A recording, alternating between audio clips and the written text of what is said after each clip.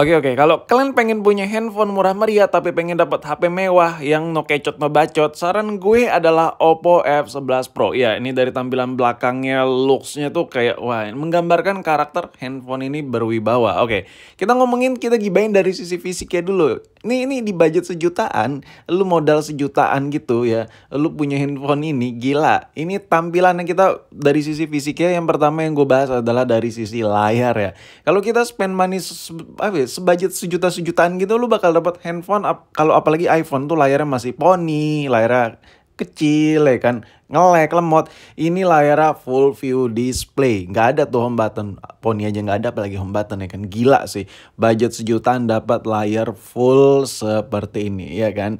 Terus nih kalau dari dekat gila. Bisa gitu ya. Budget sejutaan dapat layar sebening ini sepekat ini dan seluas ini. Pasti pada bilang, ah gimmick lagi nih Android gimmick lagi nih ya. Ya apa itu kok dibandingin sama iPhone iPhone tuh iPhone kelas atas gitu padahal yang gue comparing tuh iPhone iPhone budget sejutaan yang notabene nya tuh Apple aja udah mulai nggak nganggep ya kan nah di sini kalau ngomongin soal tampilan Sumpah men, ini bukan gimmick. Ini handphone menurut gue ini kayaknya Oppo salah kasih harga ini. Sehingga harga secondnya itu bisa sejutaan. Oke kalau dilihat dari dagu bawahnya juga tipis men. Biasanya tuh handphone yang layarnya atasnya bezelnya tipis, frame tipis bagian atas, dagunya tebal banget ya kan. Kalau ini dagunya tipis banget. Jadi tuh kalau megang nih handphone tuh berasa kayak pakai HP puluhan juta yang layarnya tuh full view gede banget gitu.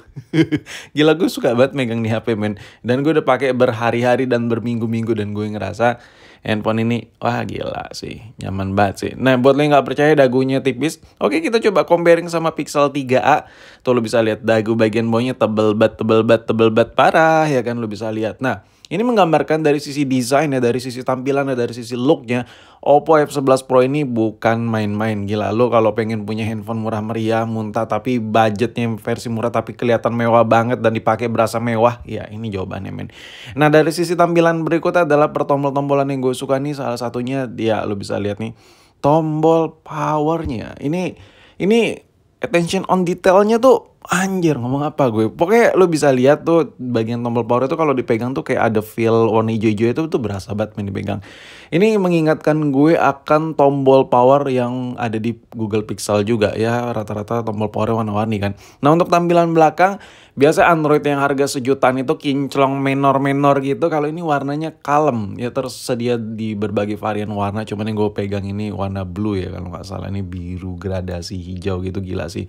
Tulisan Terus tulisan-tulisan kecil lainnya. Ini nggak norak nggak menor banget. Jadi kalau dipegang lo mau yang cowok mau yang cewek itu berasa mewah aja megang handphone ini.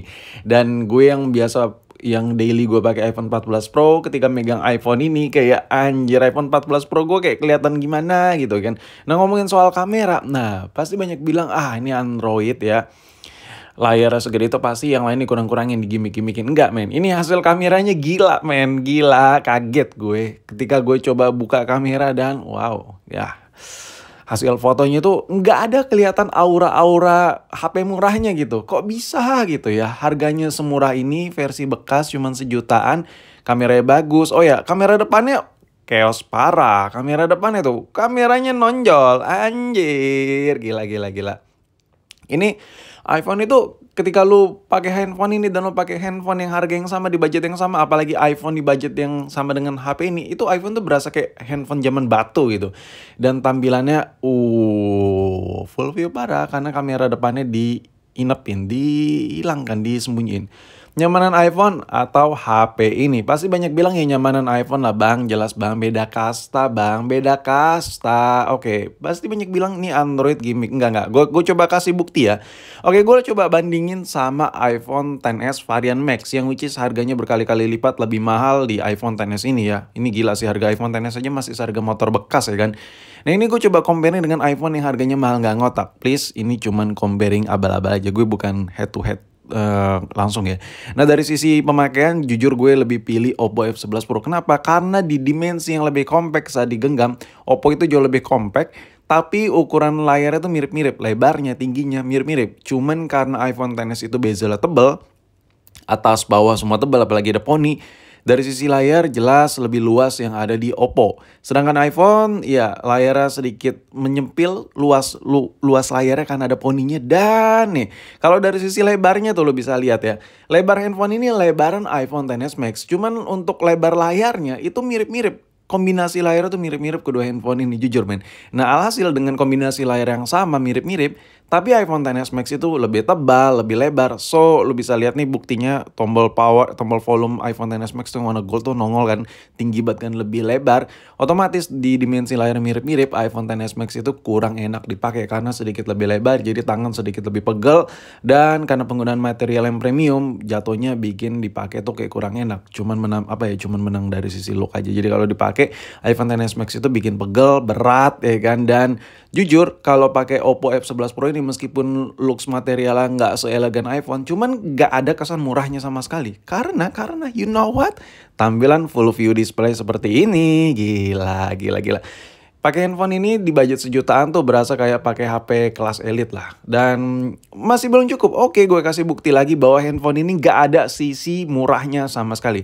Coba lo denger tombol klikan-klikan volumenya ini anjir mirip banget sama Android-Android yang harga 5 juta 6 juta main kelikan-kelikan tombol-tombol. Coba lo denger kelikan-kelikannya.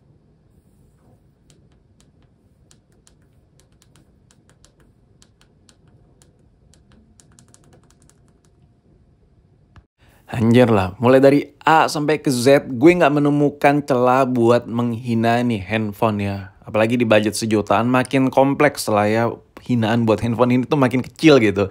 Mulai dari sisi layar premium banget dengan full view, dengan hasil kamera juga premium banget, dengan bening banget hasil jepretannya, dan RAM-nya 6 GB. So buat main game, gue rasa sih game-game ringan dilibas semua, segala macam social media, lo kerja juga buka-buka email apa pun itu pakai ini, buka-buka dokumen semua pasti lancar jaya. Jadi ini handphone bisa pakai kerja keras juga.